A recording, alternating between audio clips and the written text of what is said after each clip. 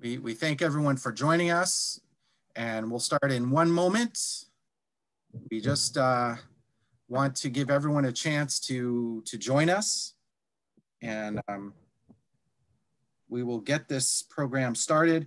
I guess I would just uh, remind people that this is part of a series, uh, webinar series on climate change in communities and that this uh, series will have another talk on November 18th, and that will be at 1 p.m. It will be on building back better, but in a small and hurricane damaged economy.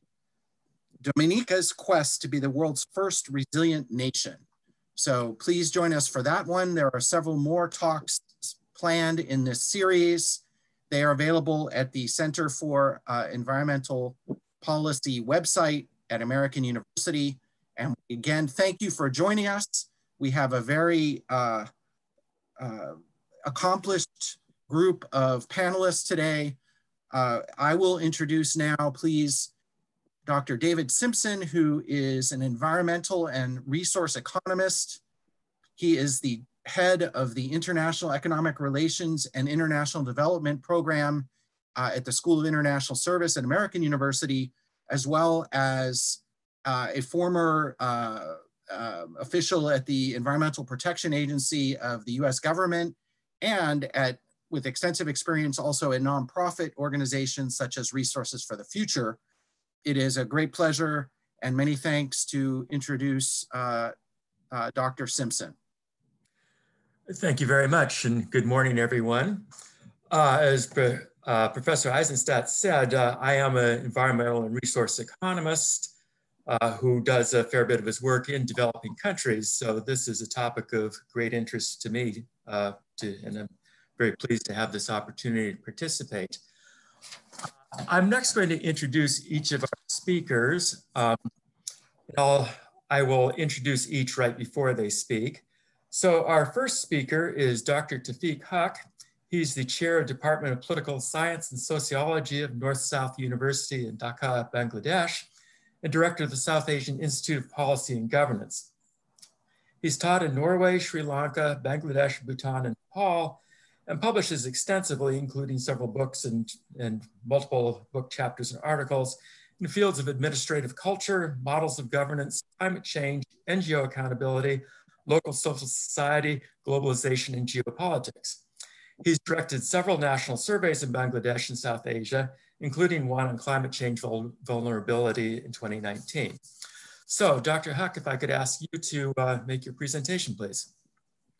Uh, thank you, uh, Dr. Uh, David. Uh, I welcome everyone, the participants and also the panelists to this presentation, especially thanks to my very good friend, Dr. Todd uh, Uh, we have been working in this climate change related survey and research project for last uh, few years. And we're trying to develop also some of the uh, articles and uh, academic papers on the basis of the survey that we have been conducted.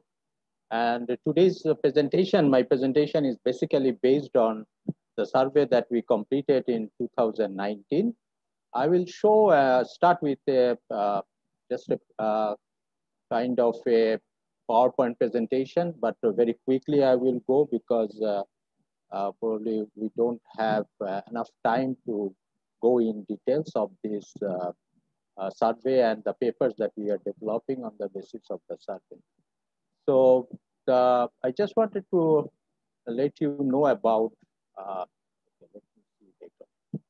okay, so the screen is shared. Can all of you see it, David? Yes, looks good. Thank you. Okay.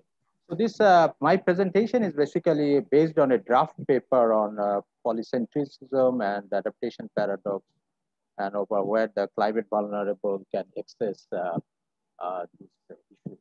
Uh, so I will be uh, going very quickly with this introduction and some of the methodological part. Mostly we'll be focusing on these findings of the survey. So the major uh, research question was the how do people on the ground attribute responsibility for taking action to combat the dangerous impact of climate change? and also that uh, this survey covered 3,494 climate vulnerable Bangladeshi citizens. And we asked basically two aspects of responsibility attribution. Who got us here? Uh, who is responsible for this climate change situation and who needs to take the responsibility to fix it? Is it the local government, is the national government, or the international organizations and international? So we have uh, kept some uh, debates on this uh, uh, research that adaptation paradox while climate change is a global risk, variability to it is locally experienced as we are more seeing. And international cooperation regarding climate change mitigation is failing and greater pressure on uh, subnational actors. So the positioning of higher uh, on these developing countries uh, uh, shoulder. I'm not going in discussion of polycentric governance and accountability is a theoretical conceptual discussion here. Uh, if needed, we'll come back to this uh, question and answer section. So if we just, because we do understand here, there are probably attending attendees and the participants who probably have do not have a clear idea about the risk factors in Bangladesh. So if you just summarize the overall climate change risk factors in Bangladesh, you would think that there are several attributes or uh, characteristics of Bangladesh in terms of its uh, climate vulnerability. So it's a low-lying terrain, geographical propensity for cyclones, coast, coastal surges, river flooding, and drought are there, and encroaching salinity is also becoming gradually a big factor. So in terms of its uh, uh, sensitivity on, uh, towards climate change, it's almost 20% of GDP. So biological vulnerability is, transforming into economic vulnerability. And for many households, migration is the one possible feasible uh, option for this uh, as a disaster insurance. What government is doing? Government is uh, an international engagement covering with several projects. We we have this uh, climate change trust fund project. We have this uh, climate change resilience project, which is being funded by World Bank. Another project that I was talking, it was funded by the government itself. So it's like a four, 465 million funding and managed by national government, World Bank NGOs, and spent on climate adaptation since 2000. And then there are national level climate programs, comparatively strong, and also the kind of a uh, climate action plan is there, but the major issue is basically corruption at the national level, uh, managing these climate uh, change projects and also the local level. And local governments have few resources and little power also. So that's the background and the context. we come to the survey specific kind of uh, structure, we'll be fine. As I said that there were 3,494 respondents being interviewed from June to September 2019. The primary sampling unit was rural union councils and then suburban municipalities, city corporation. The secondary survey uh, sampling unit was rural villages, suburban and urban wards, and tertiary was family households. So it was basically a household survey at the end. What kind of questions did we ask? We basically tried to understand that uh, differentiation between the government's levels, whether the citizens they can differentiate the responsibility and the role of the governments at the local, national, international level or not. So we asked this question as I, at the beginning I said, who is responsible for climate change? Who must try to solve this? Overall, is the government doing a good job at the both local and national level? Overall level of trust of institution at all levels. So in general, we found that uh, don't differentiate that people do not differentiate between levels of government when attributing responsibility. I shall come back that part at a later stage also. So in terms of the citizens' perception about uh, efficacy, we ask these questions like, has there been more flooding and sunburns where you live in last five years to understand the background and the context? Have you sought assistance from officials in the last 12 months? Do you think your representative or mayor listens to people like you? And finally, how much trust do you have in following groups and institutions? So these are the major questions we try to understand and we try to find out. So if I, if I show you some of the major findings, because as I said that this was a quite a comprehensive national level survey covered all region of Bangladesh and uh, very interesting findings were there, but I'm just uh, giving you some glimpses here. So fewer than 30% heard of climate adaptation or mitigation. And 73% thought these two concepts are basically the same. So people cannot differentiate between adaptation and mitigation, and that's understandable. Uh, for them, mitigation, which is invisible anyway, is that something happening somewhere else. So some somewhere else in the world, people are emitting uh, CO2 or greenhouse gas, and then because of that, uh, floods is happening in Bangladesh, they cannot relate those things, and that's also natural. 90% had heard local officials discuss natural disasters, and 12% had received disaster aid in last five years.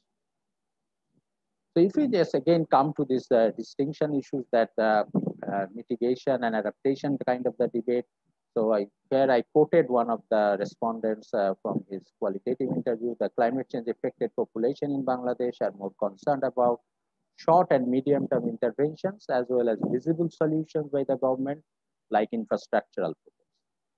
And they are least concerned about the long term mitigation issues like greenhouse gas emissions. And I'm sure that's the reality in many of the developing countries. Again, if we see some of the numbers, 80% noticed changes in seasons over previous five years, 46% became personally injured or ill as a result of a climate change related event, 33% know someone who experienced crop loss or failure, 12% were forced to temporarily leave their homes as a result of these events, 23% called disaster relief ineffective, all the related infrastructure also and 73% were aware of disaster prevention efforts. We had uh, in this uh, draft paper that uh, Todd, I, and uh, other colleagues are uh, trying to develop that uh, four hypotheses. The first one is the higher perceived environmental vulnerability. The less likely the respondent is to seek action from the three levels of government for climate change. The second one is the higher respondents believe in religious attribution of climate change, the less likely the response then is to seek action from the three levels of government for climate change. So if people think that this is a, a kind of a fatalistic thing that the climate change things are happening or floods are coming, probably they will uh, not make a government accountable. The greater, the third uh, hypothesis is the greater respondents believe in the efficacy of the local government the more likely the respondents to seek action from the three levels of government for climate change. And the last one is regarding trust. If they have a greater trust in the institutions, probably they will like uh, likely the respondents to seek actions from the three levels of government. So we tested these uh, four hypotheses uh, quantitatively. I'm not going into the detailed numbers, but uh, if we show the, uh, show the result, the Hypothesis one proven accurate, especially regarding to the question concerning flooding. Hypothesis uh, two also proven accurate. Those who believe human cause uh, climate change are more likely to seek government action. Who believe that this is the act of God, they think that okay, I can depend on whatever will be happening will happen. And hypothesis three is basically no discernible association was been found and in terms of the efficacy of the government uh, institutions. And the last one also has been uh, uh, proven like more trust in local government means less desire for central government intervention on climate change. If I come to the now the general uh, concluding results, that respondents, they did not tend to differentiate, as we already mentioned that between levels of government, especially regarding blame of for climate change and the need to solve it. So they cannot differentiate between local, national, and international levels. In general, more trust in local government is associated with less interest, less interest in national government action on climate change. However, the trust in uh, security forces is also correlated with interest in government action for climate change. There were higher level of the trust in, on the security forces. And respondents tended to praise local and criticize national government even when confronted with corruption at the local level. And that's a quite a little bit paradox. And we try to explain it and I come back at the, the last slide. So if we now see that the research supports a lack of differentiation by respondents regarding what government should be doing about climate change. So but inclination toward government action is traceable to also individual factors, for example, previous experiences. But the paradox is the trust in local government and there is less interest in national government action for climate change. And why it is happening, we'll try to explain it a little bit later on. Uh, so these are the concluding things that uh, I think I already covered it. But now if we want to understand that why people have this kind of a overall. So I want, before I conclude, I want to show you some pictures. I'm sure that uh, probably our, our South Asian participants or the North American participants, you have seen this kind of the pictures and many times before, whether this is in case of India or in Bangladesh, natural disaster pictures published in the international newspapers or CNN, BBC. These are the very common pictures. During the flood, people are moving with their belongings, children's in their hand. And then also you'll be seeing these are the, some of the pictures where these, uh, these houses have been submerged under the water and uh, some other uh, installments. And also a bird's eye view that how it looks like when a village submerged with uh, flood water. And this is a kind of a infrastructure like a uh, relief center uh, or also a kind of infrastructural kind of support.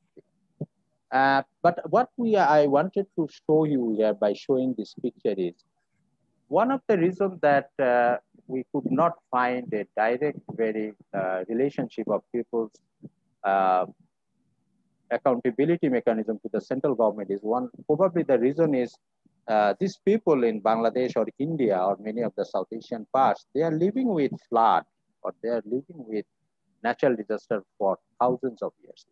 Not something new. I'm sure that for our European or American uh, viewers, these are something very, very kind of uh, alarming pictures. But if you ask any Bangladeshi people or Indian people, they're used to by seeing these things. And the flood comes two times on average, sometimes three times in a year. And people think that the flood is part of their life. So they are living with floods. So thousands of years, they have learned the mechanism to live with the thousands And then they have more trust on the local government than the central government because the local government is a more visible participatory actors who come into their help during this natural disasters.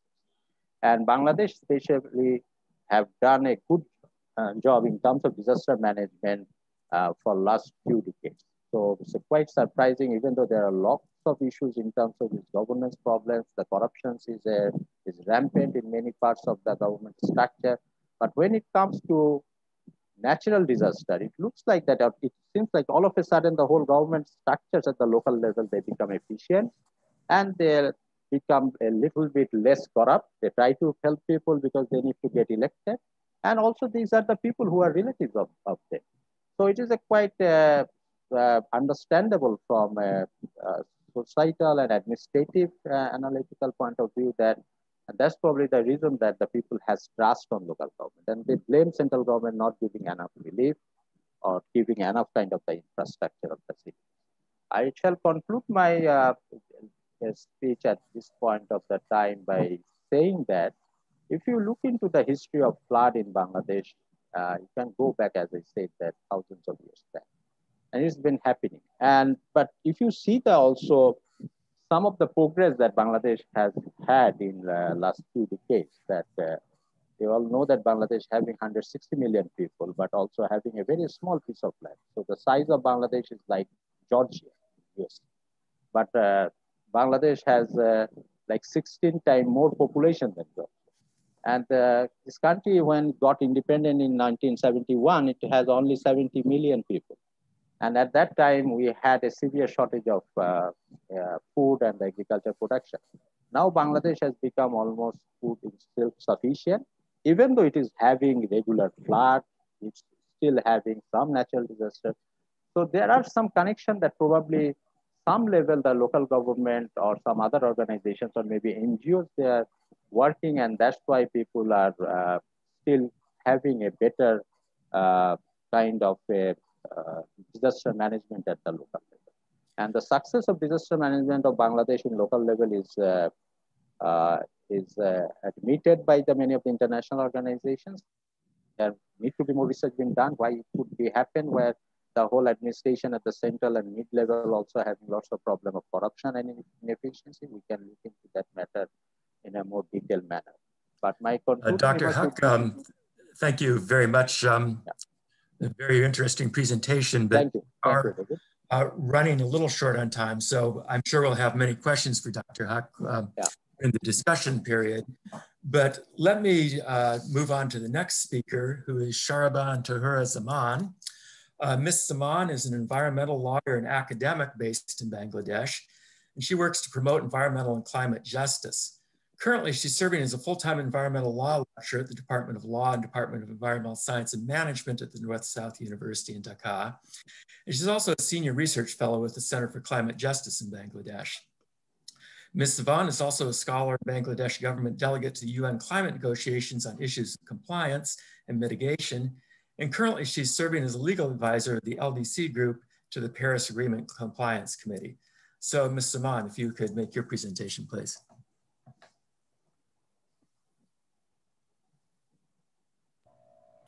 Um, thank you, David. Uh, thanks for giving me the opportunities.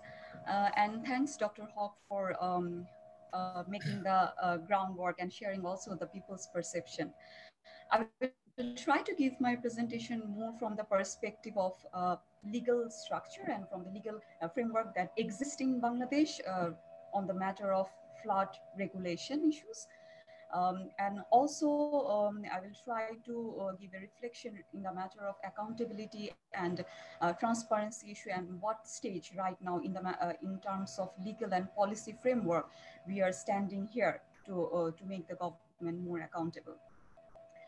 So. Um, before jump into the more detailed discussion, I would like to flag up the issues. Uh, flood is something, uh, is a phenomena in Bangladesh that uh, we can consider it from a different perspective.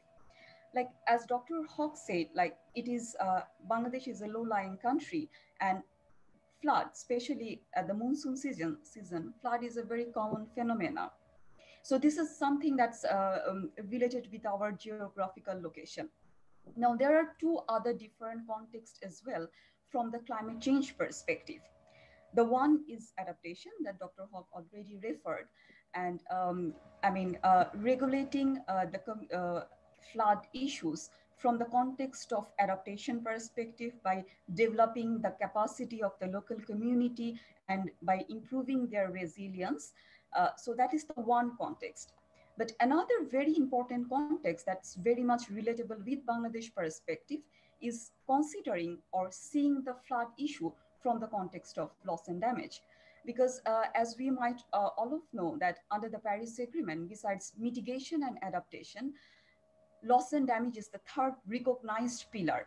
And as per the uh, widely accepted uh, understanding in the matter of loss and damage under the climate change, uh, we consider loss and damage is a situation when mitigation fails and also adaptation also fails because it's no longer within the adaptive capacity of the community or uh, the government structure. And that is the time when loss and damage appears and where we can actually um, address the issues and it becomes a permanent loss where the only remedy might be compensation. So flood is something that actually covered these three angles uh, as a monsoon uh, regular disaster, as from the adaptation perspective and also from the loss and damage perspective. Now, let's have a look on the reality on the ground, uh, especially focusing on the existing scenario of our legal structure. So if we overall see uh, the flood regulating framework in Bangladesh, uh, though uh, as I mentioned, uh, the flood uh, issue has a three different component uh, as a regular disaster from adaptation and also from loss and damage perspective. And interestingly, Bangladesh existing legal framework recognize all these three components. So we do address flood from the loss and damage perspective, from the adaptation perspective, and also from the uh, natural disaster or from the uh, regular disaster perspective as well. So this is where the complexity, legal or policy complexity arise actually. So in the current phenomena, if we specifically look at our current legal framework, uh, flood regulatory framework is more about uh, relief and response-based measure. So uh, our existing framework is more focused on relief and response-based issues in the matter of flood, instead of considering it from the resilience perspective or from the loss and damage perspective. And another um, big challenge is lack of coordination between the flood regulatory framework and national climate change strategies. So in Bangladesh, we do have flood regulatory framework separately, like we have flood action plans, uh, flood regulatory strategy that we very recently adopted. At the same time, we do have climate change strategies separately, um, like Bangladesh has BCCSAP, uh, uh, um, uh, we do have disaster management act that acknowledge climate change issues. So these are the very two different things and there is very lack of coordination between these two distinct separate regulatory framework. And at the same time as i mentioned uh, before um, this uh, regulatory framework, it doesn't matter uh, we are uh, seeing it from the flood regulation perspective or from the climate uh, change strategy perspective, there is a, a lack of uh, focus to, uh, to build the adaptive capacity or resilience of the vulnerable community, especially because in Bangladesh, um, we have some portion which are more flood prone area. At the same time, they are more vulnerable due to the adverse impact of climate change. But from that context, a direct redress mechanism or direct response mechanism towards that community is clearly absent in our existing legal framework. The fourth um, biggest challenge here that uh, being a lawyer and uh, climate, uh, sorry, um, law expert, uh, there is a, another big challenge that I see is the coordination complexity among the institution. I'm just giving you an example. Uh, in Bangladesh, uh, flood or any water related problem is mostly uh, seen or implemented, even if it, if it is a project or program also, if it is mostly actually regulated or implemented by Bangladesh Water Development Board. But at the same time, uh, from the climate change context, uh, these flood portfolio also goes under the Ministry of Environment, especially uh, the depart under the Department of Environment that belongs under the Ministry of Environment and Forest. And as I said, like we also within our national laws consider flood as the issue of loss and damage. Um, I mean, these things also goes under the portfolio of Ministry of Disaster and Relief. So, I mean, we will we got to see like there are so many project initiative programs are going on uh, in between these three different uh, ministries and institution, as I said, like Water Development Board, um, Ministry of Environment and Forest, and also uh, from disaster, Ministry of Disaster and Relief. But there are no coordination uh, and uh, none of them know actually what uh, projects or programs are they are implementing um, and whether there is overlapping or not, uh, whether there um, there should be some sort of strong linkage or not. I mean, these uh, ministries and institutions are so isolated from each other uh, that uh, it also creates lots of confusion uh, in the matter of institutional coordination and to actually uh, to make an effective outcome out of this whole process. And also, as uh, Dr. Haque referred, I mean, there is also a lack of people's participation. From legal perspective, if I see, uh, there is a scope because um, in the Local Government Act, we do have a clear specific Local Government Act that we adopted in 2009. And there is a clear provision for community and people's participation. Uh, unfortunately, we do keep them uh, um, uh, participate especially at the very beginning when we formulate the project or for, uh, I mean, especially at the beginning of the formulation of project or program. But later on, when uh, it comes the management of flood issues or um, uh, establishing the flood management committees that exist um, at our union Parishad level, uh, in that case, uh, we see very lack of participation of the local communities and um, uh, local people's participation. Now, from the government and awareness and transparency perspective, we do see uh, lots of suggestions, especially from the uh, legal and policy framework perspective. We do suggest uh, to develop a more evidence-based flood policy formulation. We do suggest reconciliation of the interest of land, water, and people, because in the current uh, uh, framework, there is a clear gap of the reconciliation of the interest of land, water, and people. And also, um, we do suggest uh, communities' voice to be heard while uh, there is a decision-making process. They should be given the opportunity, especially the vulnerable community should be given the opportunities to participate um, uh, when uh, the decision is actually taking. And also, uh, there is a very long demand uh, to fill up this existing gap in the matter of flood regulating process. But this is the suggested way forward that we are actually uh, advocating for very long time to the government. Unfortunately, uh, uh, nothing actually is effectively, nothing much is actually happening. Now the question is why? Why accountability is not developing uh, from the government perspective? Is it something that doesn't exist within our legal framework?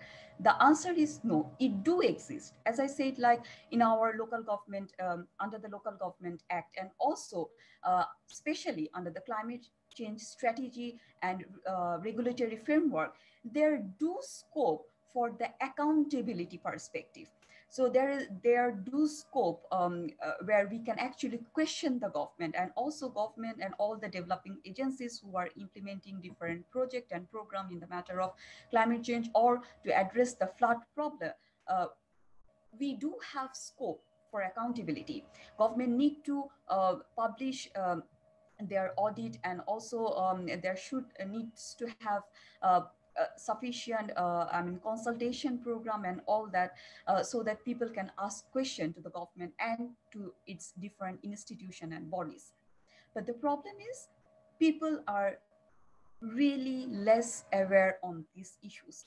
As Dr. Haque rightly pointed out that uh, people, I mean, especially uh, the local community or the vulnerable group, they, they cannot actually relate uh, these flood problem with the issues of climate change and especially with the issue from the context of loss and damage and adaptation perspective. So people do have right to question here and to ask um, what is the output of this project or the program. But considering the lack of awareness from the people, uh, most of the time it never turn out in the way that it should be definitely there is a huge contribution from the corruption side as well.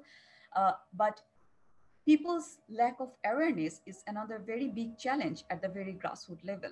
So um, first, for example, uh, under the Union Parishad um, Act 2009, uh, every month there should have a Union Parishad meeting that meetings should take place by the leadership of the Union Parishad chairman, where all the community of that uh, union uh, should come and ask the question. And at the same time the local government will um, inform them what development uh, uh, uh, program or project is currently going on. People don't know about that. So most of the time in this sort of meeting we we hardly see people are participating and making some constructive uh, question to the government. So here um, from my perspective what i see from our legal uh, avenue, we do have scope to make the government accountable and to make it more transparent process. But these tools will only be functional if we can make the local community more aware about their rights. In that case, I believe a strong educational system, uh, more advocacy and participation of the civil society will really help on these issues. If, uh, if we don't work much uh, on the uh, on making the community aware about their right. I mean, this existing tool that we ex uh, that exists from 2009 to till today uh, is not going to function. So that's all from my side. Thanks for hearing. Uh, thank you very much. And again, I'm sure we'll have a number of questions from the group. But let's hear from our last speaker before we begin to take questions from, from the participants. And our last speaker is going to be Professor Teresa Kramarz, sorry, uh, and she is Associate Professor in the Munk School of Global Affairs at the University of Toronto and a senior research fellow of the Earth Systems Governance Research Alliance. She's co-director of the Accountability and Global Environmental Task, Task Force also. Her two, two recent books published by MIT Press are Global Environmental Governance and the Accountability Trap, which she co-edited with Susan Park, and Forgotten Values, the World Bank and Environmental Partnerships. In addition to her scholarship, she's, she has extensive experience working on environmental governance and policy issues, including climate, with international agencies, including the World Bank, the United Nations Development Program. So, Dr. Karavaris, please.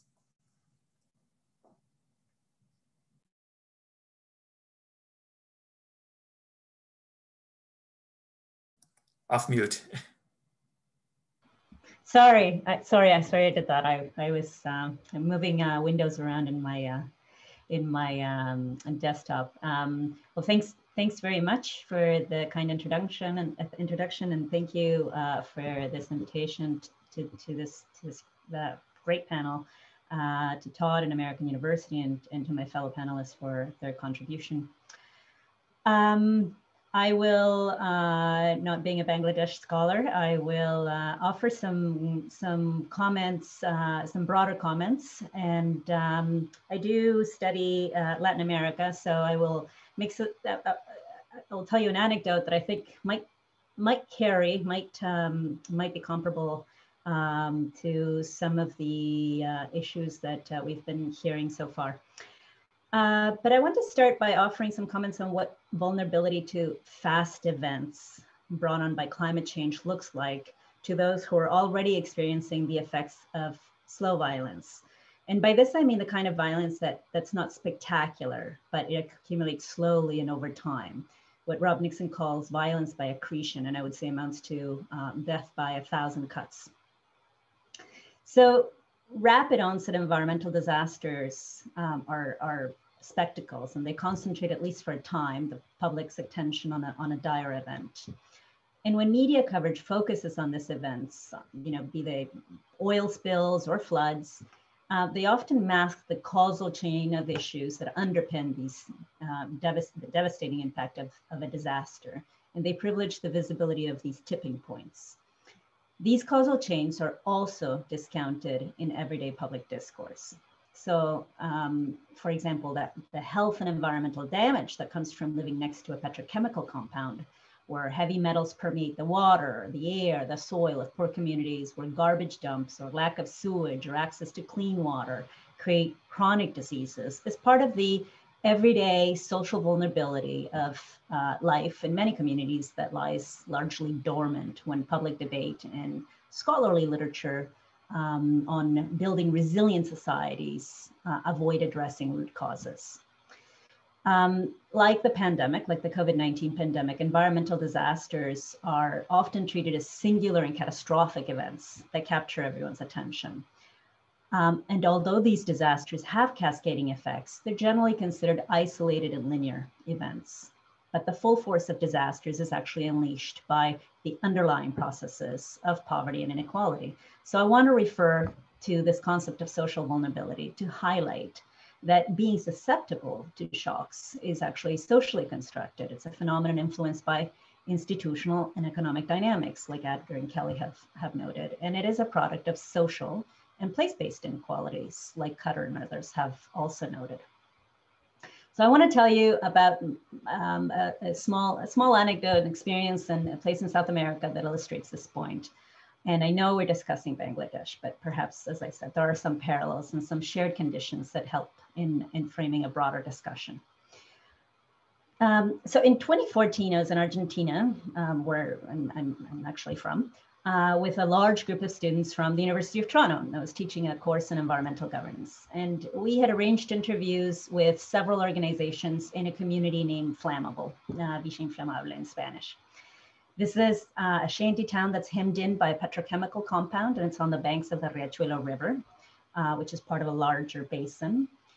Um, and, and early that morning, my students and I, instead of being at the community, we stood on the opposite shore and uh, blocked by firefighters. We were blocked from entering the community because a gas pipe had exploded in the, in the wee hours of the morning and immediately incinerated several houses. Now this barely made the radio news. Um, in, so, so we actually all showed up to, to go to our interviews. Um, and it barely showed up in the news because in the long timeline of environmental tragedies that have has affected this area and its inhabitants, in fact, since 1810, this didn't register as a newsworthy story. Uh, flammable receives its name because it's adjacent to a dock that's dedicated to flammable products. And that dock was built by the petro petrochemical companies that are in this area um, after a, a large ship that was harbored in a, in a canal nearby had caught fire and exploded. And I wanted to take students to this place in the middle of the city, Buenos Aires, of, of, Buenos Aires, which is one of the largest metropolis in the world with a population of 60 million, to experience governance failures and disinterest in the face of environmental contamination and the plight of the very poor and vulnerable population looks like in practice. The Riachuelo has a, a 200 year history of government mismanagement, and it's regularly listed in among the 10 most polluted places on earth, and it's right up there with Chernobyl. And the entire basin covers a big expense. It's 2,200 square uh, kilometers. 5 million people live around the banks of the rivers. About 40% of the population lacks access to water, 60% lacks access to proper sewage. And the largest sources of contamination are industrial effluents from about 15,000 industries that are mostly in petrochemical and pharmaceutical in, in uh, sectors. Um, so the soil and water and air and flammable uh, and well beyond flammable, of course, are contaminated with lead, with chromium, benzene. Children are regularly tested with very high levels of lead in blood. People suffer from many chronic conditions um, caused by living in this environment, you know, from skin rashes and respiratory problems to repeat miscarriages, cognitive impairments, cancer. Uh, so back to, to, to my story, given this fire, the students I'm there with uh, and I uh, end up different, visiting different parts of the basin and were escorted by the firefighters who later then invite us to the fire hall and they set up a circle of chairs to allow us to kind of make do makeshift interviews with various community organizations and neighborhood leaders. And among them is this woman, Beatriz Mendoza. Uh, Mendoza was lead litigant in a historic court case against the national, provincial, municipal, city governments and the 44 in, and, and actually 44 industries, which were named in the in the case, for health damages got, caused by contamination. And she became, she has become the public face, actually, one of the most recognizable national symbols of the struggle of the poor to get the government to clean the basin. Um, in 2004, Mendoza was a social psychologist working in a community clinic in Flammable. Um, she and many neighbors were getting sick, and um, her coworkers and her kept seeing um, clients in the health clinic with similar and recurrent illnesses. So after so many years of failed government policies to stop the contamination, Mendoza and 17 neighbors filed a case with the Supreme Court of Argentina. There's a, there's a similar case in, um, in uh, Manila Bay as well. Um, and, and, and some, um, some comparables to, to, um, uh, to in, in, the Ganges, but, but, but I digress a little bit. Um, the, the outcome was that in two separate decisions, in 2006, 2008, the Supreme Court of Argentina decides to take on the case and manage a definitive solution, right? So this was huge news. The people of Riachuelo, immense optimism, and around the world, this case is hailed as a long-awaited victory. And this is, you know, the advent of green courts and courts stepping in to solve um, what other political institutions uh, seem unable or unwilling to manage themselves. So uh, by this, I mean the legislative and executive branches. So the Supreme Court at the time enjoyed quite a bit of legitimacy. This was, this was just good news all around, right? However, um, Every July, the neighbors of Flammable and the many other communities that line the banks of this basin count another year, separating them from that historic moment of hope when people thought that their constitutional right to a healthy environment would finally be delivered to them. To date, the original claim for health damages has not advanced. The industries originally sued have not meant to pay. A court mandated rehabilitation plan for the basin continues to fail to meet its targets and timelines. So um, in light of these continuous failures from so many branches and multiple levels of governance, uh, government, um, Mendoza said to us that you know, we, we waited a long time for this case to be filed. We had high expectations, but to date, we have not, we have seen that our health was affected and we have not had any accountability, any, any redress for this. Now, these days, Mendoza says she doesn't want to talk to the government anymore. In July 2019, during the last public hearing, which was convened by the, which is convened every year by the Supreme Court, she walked out in outrage. Um, these are uh, public hearings that are supposed to be accountability forum, and they're ordered by the court for public officials to present their progress and rehabilitate in rehabilitating the basin and respond to the questions from affected stakeholders. And Mendoza at this meeting said, I'm outraged. This meeting is a lie. In 11 years since the Supreme Court decision, the quality of life of the people here in the Riachuelo has not improved in any way.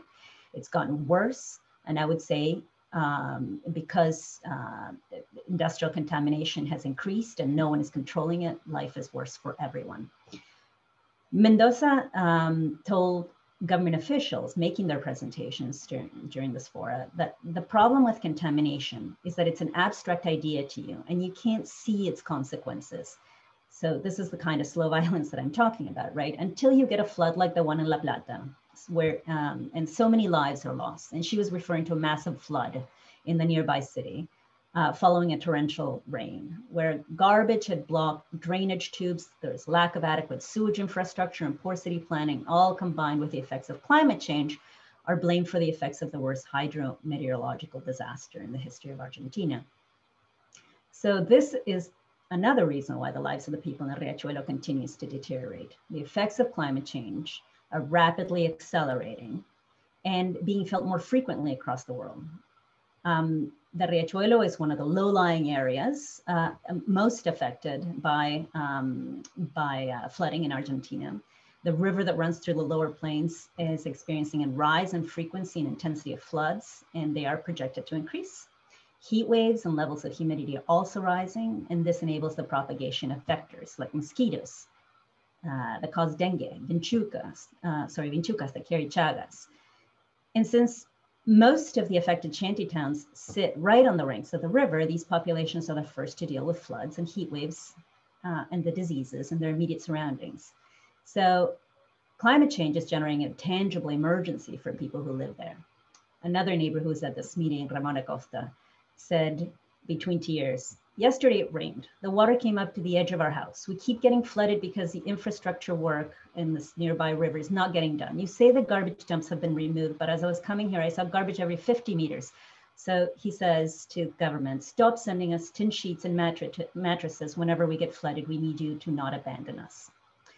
So the takeaway for me is, uh, as Jesse Ribot has argued as well, is it's it, it is not the climate event that causes the catastrophe in poor communities. It's their pre-existing vulnerabilities and disempowerment from a democratic process.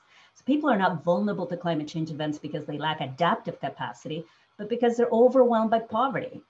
Um, so if I if I reflect on this on this anecdote a little bit on the Riachuelo Basin, I have to ask what kind of adaptive capacity to floods can a family um, have when they're living on a lot without a property title, lacking municipal connections to water and sanitation, and attending to their children and their own chronic sicknesses from environmental contaminants. So I'm very suspicious, if you if you've uh, seen this already in my in my comments, of international discourses on adaptation without transformation, uh, when the focus is on who is vulnerable versus why they're vulnerable in the first place, because it cements a preoccupation with technical fixes rather than redressing the sort of social, economic, and political exclusions that render communities vulnerable. Thank you very much for, for your attention. Thank you very much. Um, I think I'll take uh, or give each of the panelists a chance to um, to perhaps ask the others or make a comment on the others' presentations. But let me also just I guess, offer an observation or maybe a, a question or two here. Uh, I think the situations that all the panelists describe are, are characterized by very, very difficult inferential problems. Uh, is this event occurring because of cause A, B, or C, or, or what combination of them? And at the same time, uh, there's the old adage of if everybody is responsible for something, nobody is responsible for it. So I think many of your remarks have emphasized that there are different levels of government and different levels of community organizations that could all be involved, but if all could be involved, how do we determine what the appropriate role of each is? So I guess I would toss that out as sort of a general thought about trying to sort out some of these issues and, and then ask if the panelists have any remarks um, sparked by that observation or by what you heard from each other.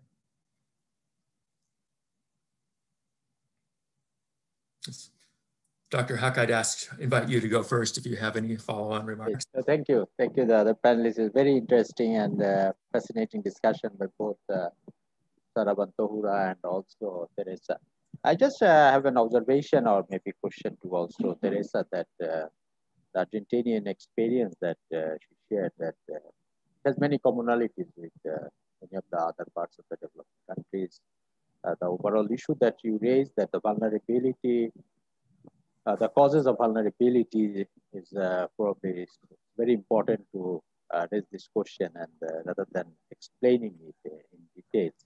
Uh, but my just just a curiosity because I'm not very aware about the Uh, South American situation. So, uh, what's the role that in case of uh, Bangladesh, if you just have in comparison that what role that this local level organizations, this whether it is NGOs or voluntary organization, charge-based organization, or the local government, do they play during the specific kind of disaster, uh, for example, in Argentina?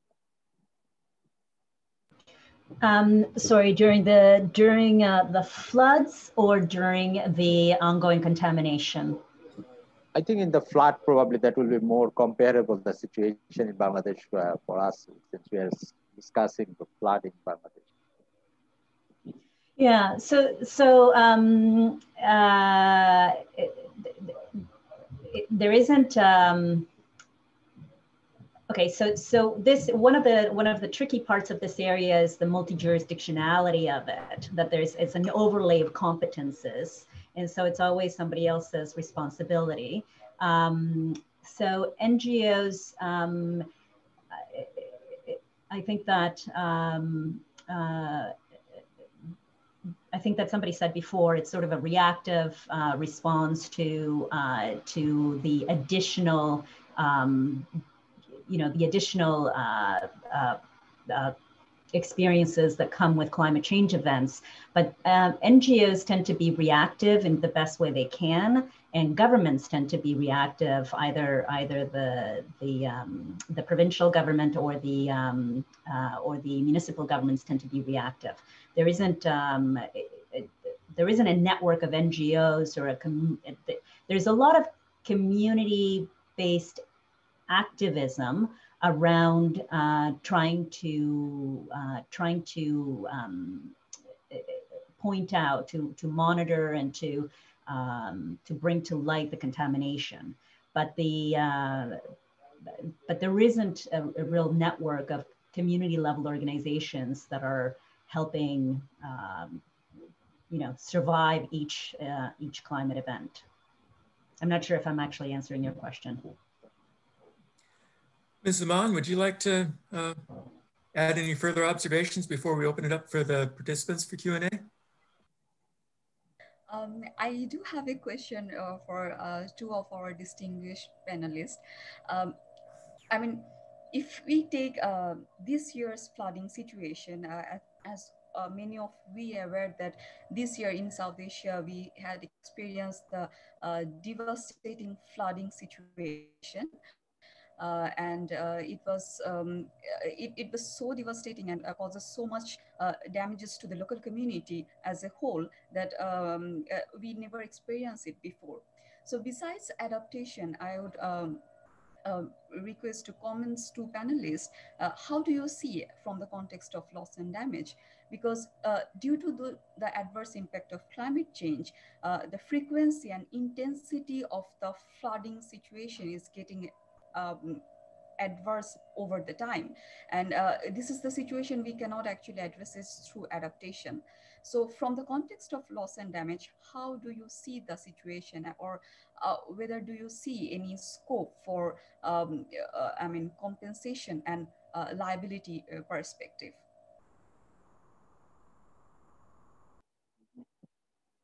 Uh, I answer? Yes, I, I think uh, as even our uh, survey also said that uh, mitigation is still is a far-fetching, a distant kind of a idea, not only to the people who have been affected, but even to the government people also that uh, at the local level. Still, this uh, loss and damage is a very macro level, centralized. Uh, only probably few ministries are now talking about. Even in case of Bangladesh, when we were taking interviews, a very interesting interviews that Todd and I were taking interviews of the meteorological department officials. Even they were saying that they were not quite sure that climate change is happening in Bangladesh.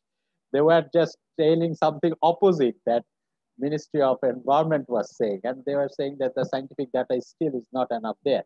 So this whole concept of uh, this, uh, the loss and damage is uh, still at a very centralized macro level discussion. I don't see it coming down in near future because in developing countries, we always work on an ad hoc basis. We always try to kind of uh, solve the immediate problem. That's the nat natural kind of a thing because we have uh, shortage of resources. Uh, so we are always in troubleshooting and uh, fixing things. So from that point of view, uh, even the politicians are uh, also in that mindset because they don't have a long-term view. Even we, our policies are not at that point. So even though I fully agree with you, this is a, a kind of a mitigation issue rather than only uh, adaptation and uh, this will not help at, at the end. And we have seen in our survey when Claude and I uh, visited different parts of Bangladesh and in Kutubdia, the island, that there's uh, embankments and other things are so uh, short-lived that even the infrastructure is so weak and it's because of corruption and other things. And because the sea level is rising and we are seeing it. But uh, the policy level, this lack of awareness or intentional kind of unwillingness still been there. So that's the reality. Yeah. Uh, Professor Kramarz, did you uh, want to ask another question? I do. I, I was really interested in the survey um, that uh, you presented, Dr. Haque. I'm um, wondering how respondents or how you um, and your and your colleagues had thought about the difference between responsibility and answerability. So whether um, respondents whether respondents assumed, you know, whoever is responsible for this risk or this damage uh, are also answerable, uh, or or whether there were different ideas about who was, um, you know, who had an obligation to to sort of justify their actions um, and who had and who were the ones affected who could evaluate and sanction those uh, those authorities. Do you know? I'm, I'm just trying to see how how uh, the response the respondents disaggregated and perhaps how your study set this up.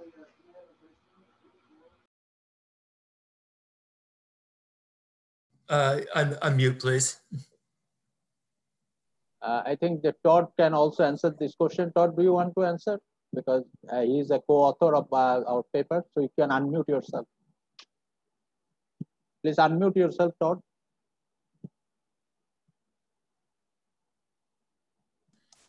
Oh, I, okay. So please go ahead. If I'm, I'll I'll add in if you if you want. All right. Okay. Okay. So I think this uh, uh, we have a very fascinating kind of a question here and we really i couldn't explain more details the whole question of this responsible the first if i address this responsible issues that uh, so this was a direct questions related with the government's level and then also the religious the religion and so also the science kind, kind of question so there was a different variety of questions about the whole responsibility issue is it science or is it religion or god or is a local government or the international organizations, US or the big countries. So these uh, answers are uh, like, as you said, that the respondents could not differentiate. So that's a kind of a little bit frustrating for us. The, I can only talk about data. I cannot give my own opinion or the other research. But this in this survey, the respondents could not differentiate uh, between local central government or the international level. And also they could differentiate between science and religion. And the people who, who thought that the science is the, is the answer and the, this is a scientific uh, reason, not the religion, they have a different opinion in terms of accountability that I showed there, that they think that the government should be more accountable. They want to make them more accountable. Uh, but uh, other than that, we could not make differentiate between uh, uh, the different levels of accountability. The uh, other uh, answer of your question is the general accountability issue. The people still think that at the local level that the central government should be more accountable, even though the projects are being implemented by the local government, but they blame everything for the central government for any failure. Even though they know that the local government is sometimes doing corruption, they are not doing good work in terms of building embankments and other things. But then when it comes to the question of accountability, they want to blame, and that's basically understandable because the local government officials, they always um, make this blame game. They say that, okay, we cannot do enough for you because the central government giving is not giving us enough resources. So it's not our fault, even though they are doing also corruption. So this is a kind of a blame game and people, because since, since they see the local government officials side by side, visibly them, that's why they're a little bit more probably friendly to the local government than the central government. Todd, you want to add anything?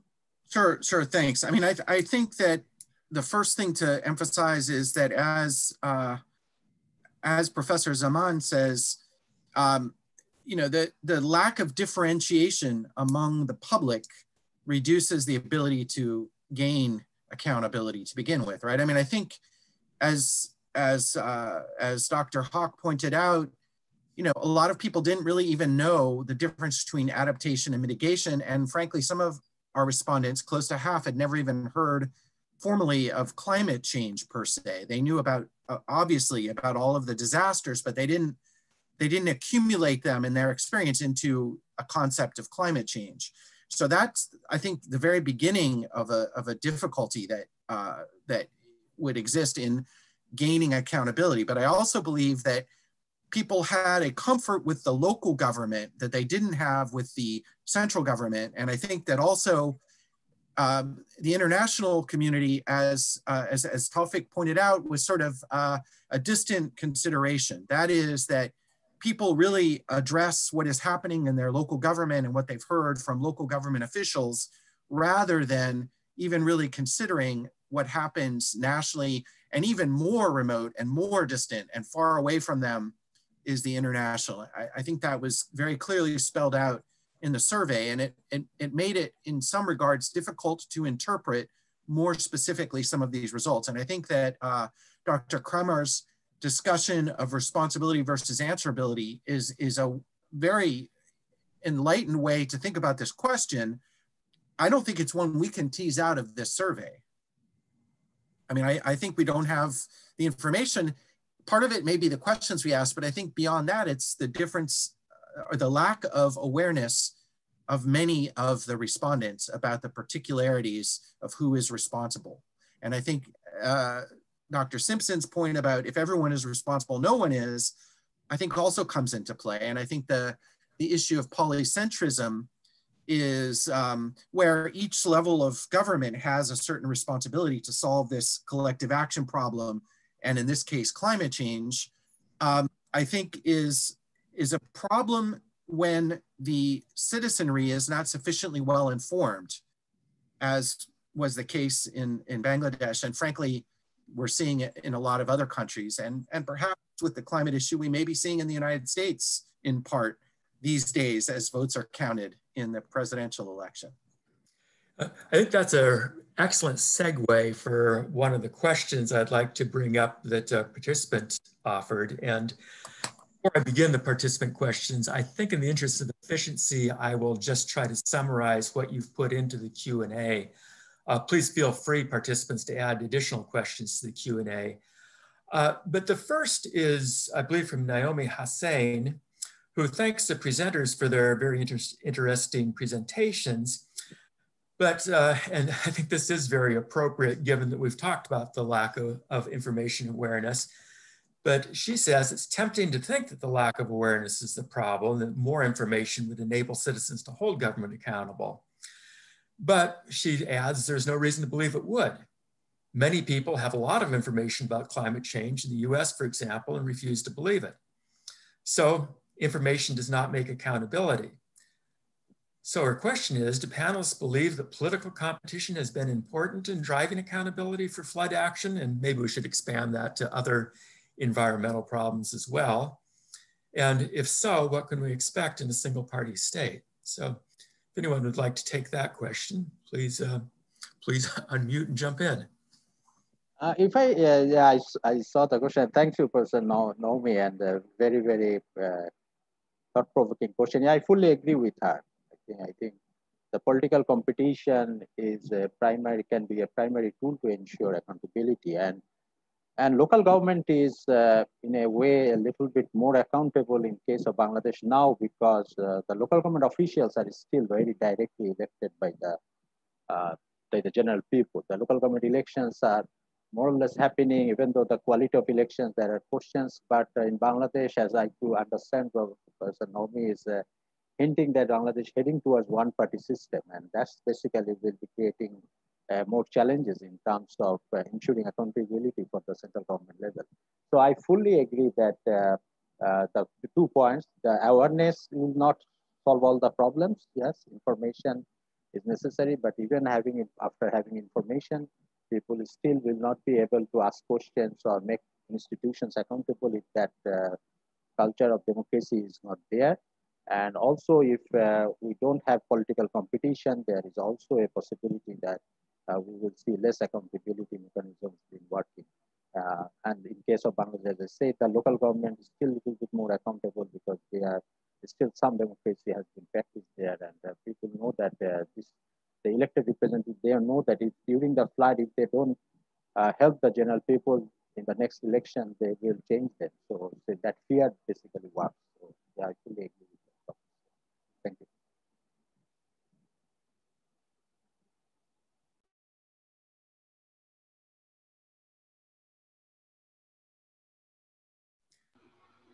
Anyone else like to jump could in I, on that? Could I could I ask a question maybe what what counts as because accountability is a relational concept right it's about political claim making and at least you know in the public uh, sphere public accountability is about political claim making by stakeholders and and uh, public uh, responsiveness to uh, to to these uh, claims but what counts as having made the political claim. Must, must a community frame its damages in terms of climate change, mitigation, adaptation, resilience, or you know what what would count as because i note that you say well that there's not even a discussion of climate change there's no awareness of these damages uh, being suffered or attached to climate change.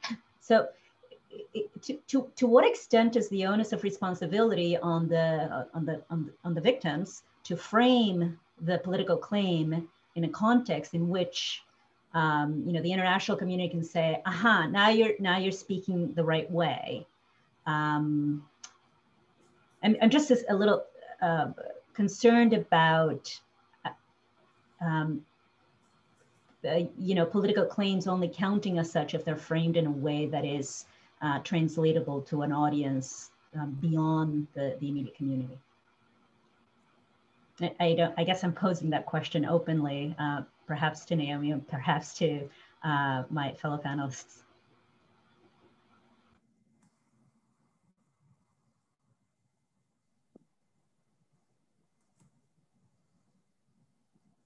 Can I answer or I don't know Please. if anyone else? Okay. Yeah, I do. I, I do understand this. The whole uh, issue of the framing the claim issue that who is responsible and who is not. Uh, but I'm a little bit, uh, little bit pessimistic about this whole uh, loss and damage, uh, loss and damage kind of a claim, and also the uh, making the international community accountable at this point of the time of global uh, situation. So as we are discussing before this uh, thing today, the official US uh, from uh, Paris climate change uh, agreement and then Trump, if he wins this election, we'll be seeing a real challenge of multilateralism. The international institutions probably will be becoming more weaker in the next four years.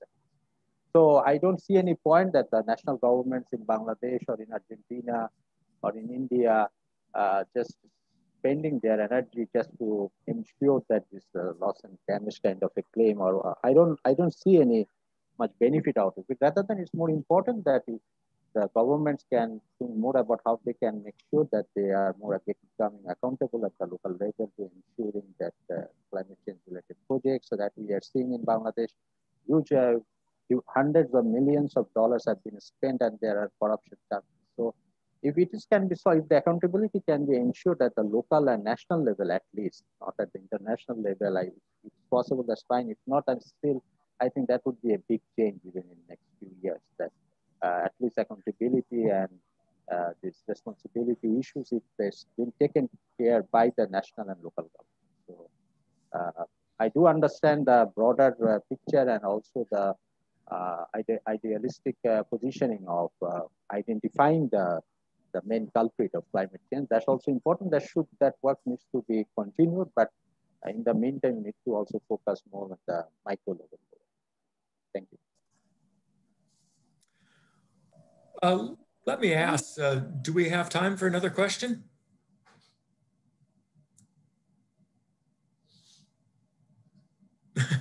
okay. Uh, I'm having a little difficulty reading it, so I have to expand my screen. But Michael Steckler asks, Riverine floods affect northern Bangladesh and depend mostly on upstream rainfall. Difficult to attribute individual events to climate change, only the emergence of changes in frequency. Uh, let me just try to summarize the question. Uh, it's difficult to directly attribute events to climate change, of course, and uh, we see a slow increase in vulnerability. So are there reasonable uh, or sorry, there are regional differences in perception of climate change. Uh, and maybe the, the most important question he asks here is, could climate change simply be a scapegoat for poor local or national government management? Is it a way for the government to get off the hook by saying it's, it's just a global phenomenon that we can't do anything about?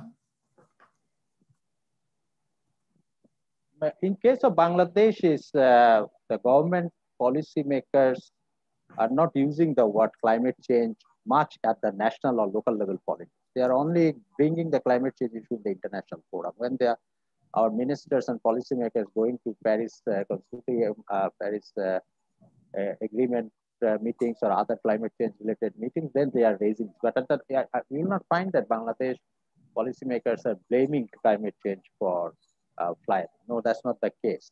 Uh, I think uh, the question is also very valid. Yes, in case of in the northern kind of a flood, Bangladesh has a lower riverine, riverine country. the, the, the rivers are coming also from India and China.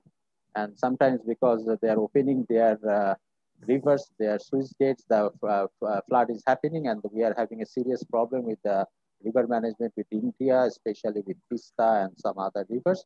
So these are also a kind of a man-made flood in some way. And uh, also it's a question of broader inter, uh, a kind of a interstate uh, water management issue rather than climate change. So I fully agree that all floods are not related with climate change. And also these are genuine concerns, but uh, there are also uh, concerns that uh, sea level rising is a big concern for Bangladesh. Salinity is a big concern for Bangladesh. Many parts of Bangladesh in the southern part already been salinated because of the uh, sea level is rising and the crops have been affected. Uh, we are having a temperature changing in the last few decades. So I think there are genuine concern from climate change scientific point of uh, explanation but also there are some other issues related with flood and other natural disasters which are not directly related with climate Thank you.